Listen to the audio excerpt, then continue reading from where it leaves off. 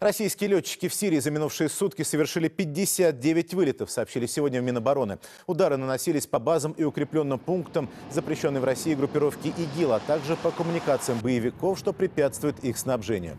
По данным военных, поражены 94 объекта террористов. Среди них командные пункты, завод, на котором боевики оснащали свои машины пулеметами и другим оружием, базы и лагеря.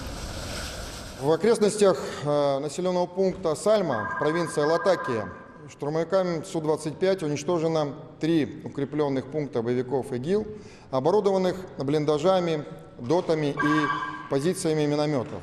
Данными объективного контроля подтверждается разрушение инженерных сооружений террористов. На втором видеоролике вы видите нанесение удара самолетом Су-34 по хорошо замаскированному позиционному району боевиков, это провинция Хама. Полностью уничтожен объект, где находилась позиция замаскированная артиллерийская, а также сам позиционный район. На третьем видеоролике э, вы видите, это один из обнаруженных лагерей боевиков. Съемка, как вы видите, ведется в инфракрасном диапазоне ночью. Данный лагерь был обнаружен в провинции Дамаск. Был наведен бомбардировщик Су-34 на данный объект. Как вы видите, в результате точного попадания объект полностью уничтожился.